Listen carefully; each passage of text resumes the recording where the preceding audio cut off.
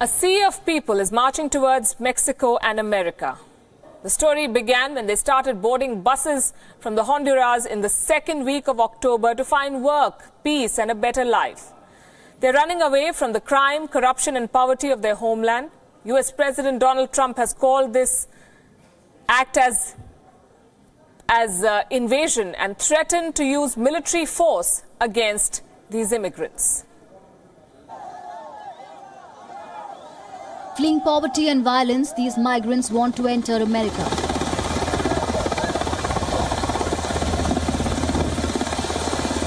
Forming human chains to cross a river at the border between Guatemala and Mexico.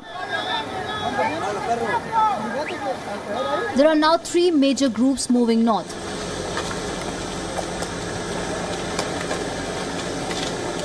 The first group is of more than 300 people from Salvador.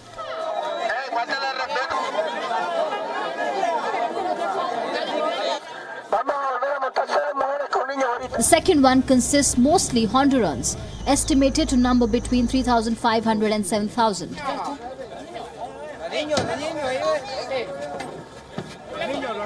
They left their country in mid October and are now in southern Mexico.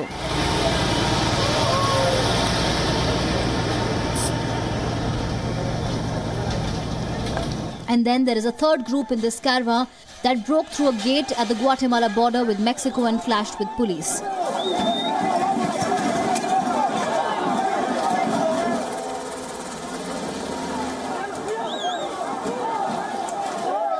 So far, more than 7,000 people have traveled with the caravan. UNICEF estimates at least 2,300 are children.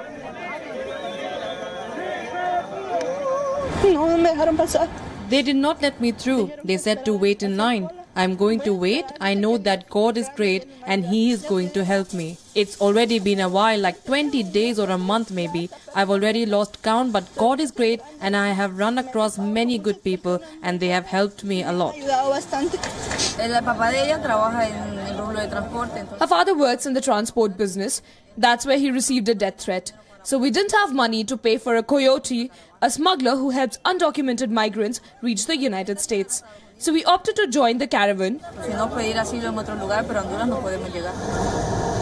But this is what they will face once they reach the US.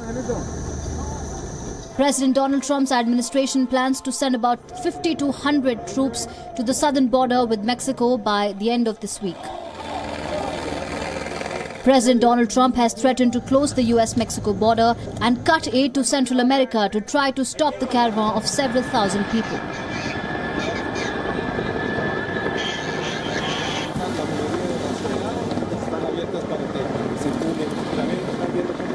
Some migrants have abandoned the journey, deterred by the hardships or the possibility instead of making a new life in Mexico.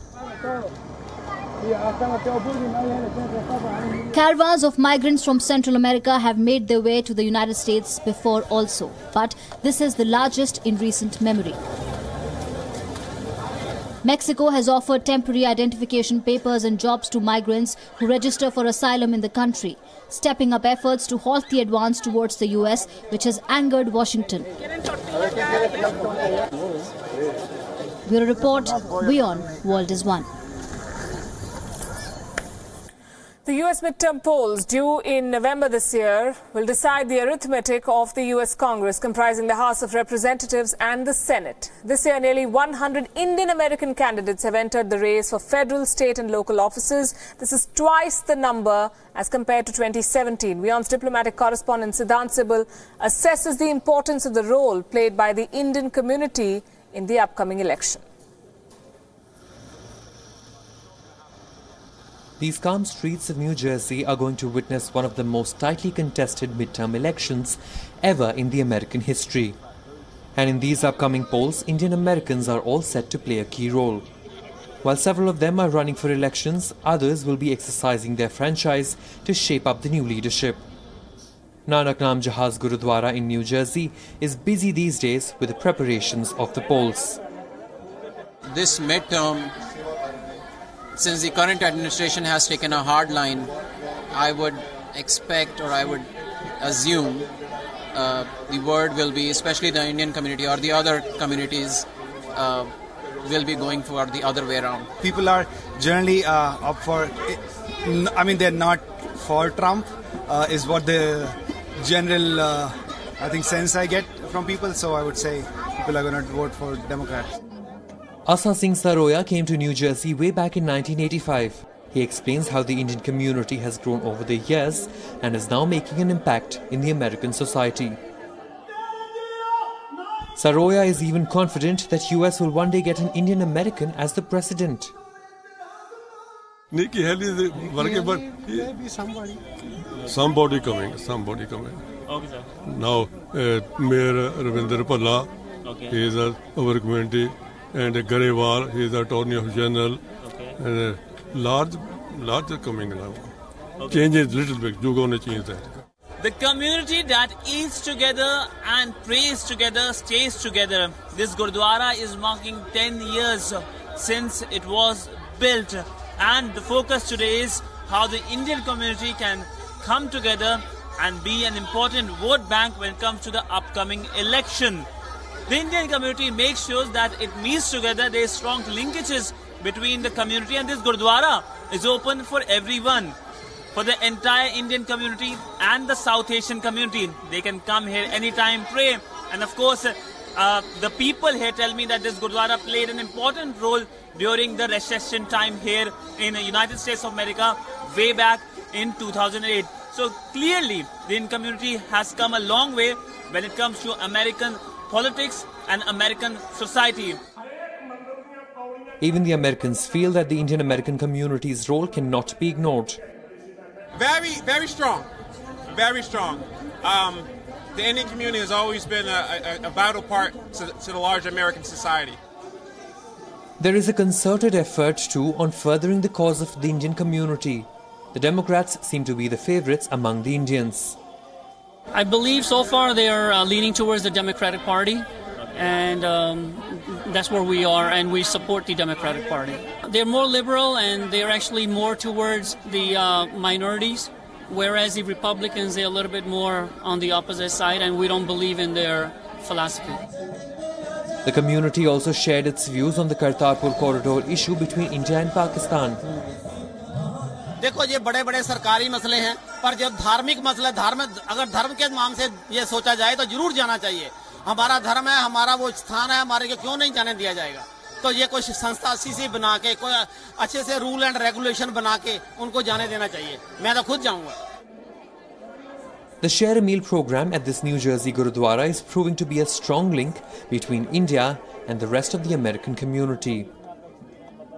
This political awakening in the Indian community here in United States of America.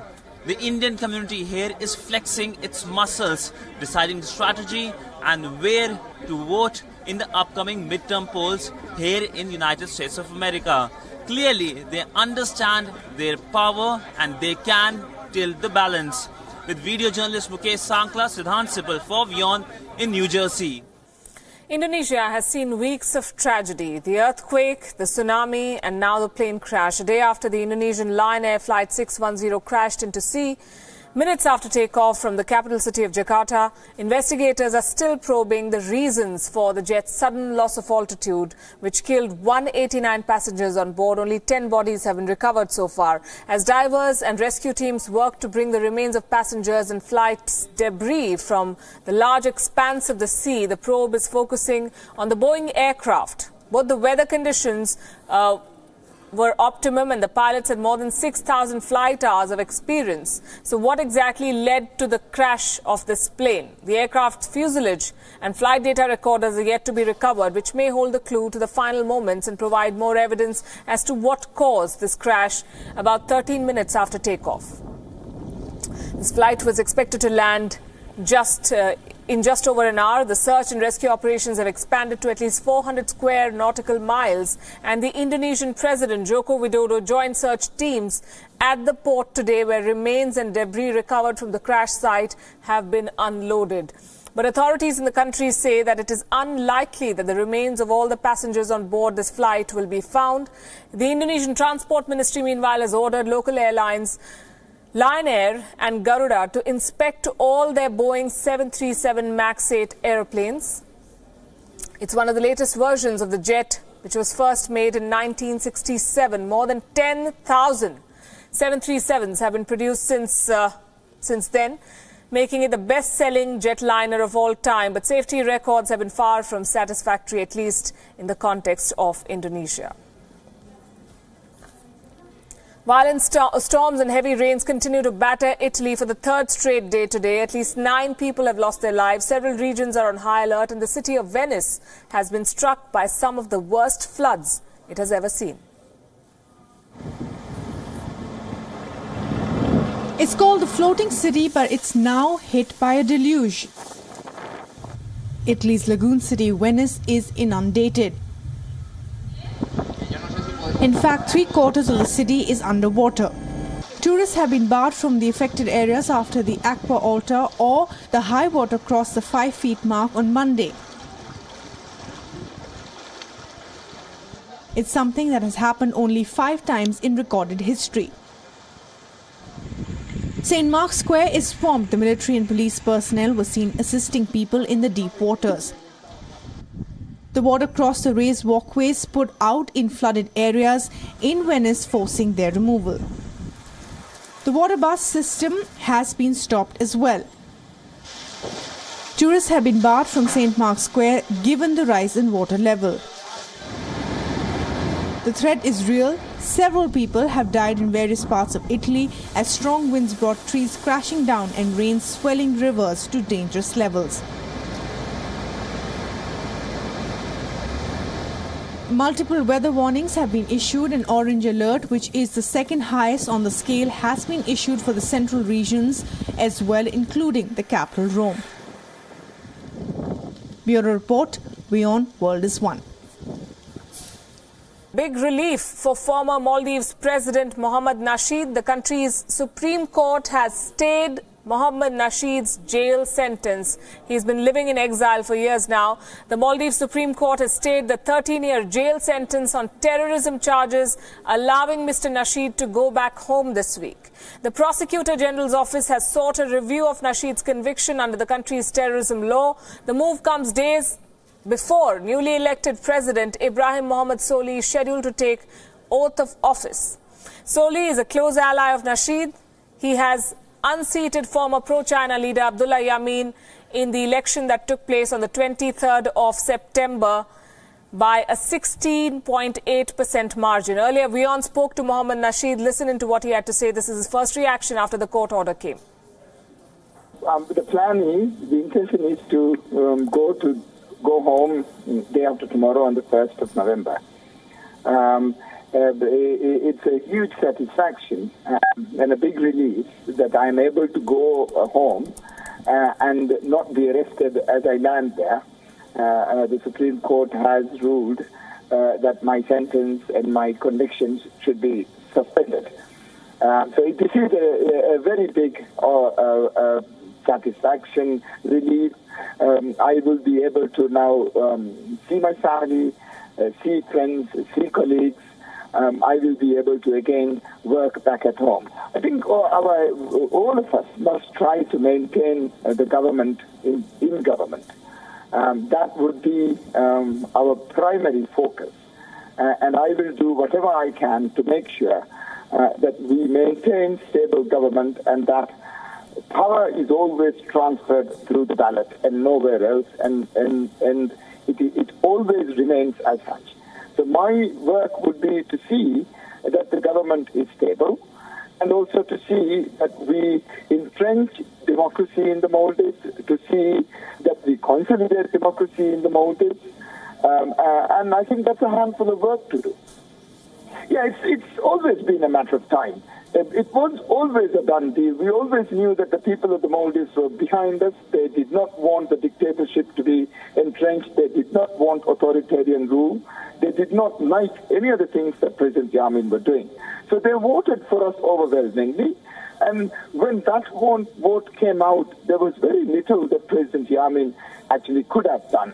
And I didn't really quite believe Uh, that President Yameen could do more after the results were announced.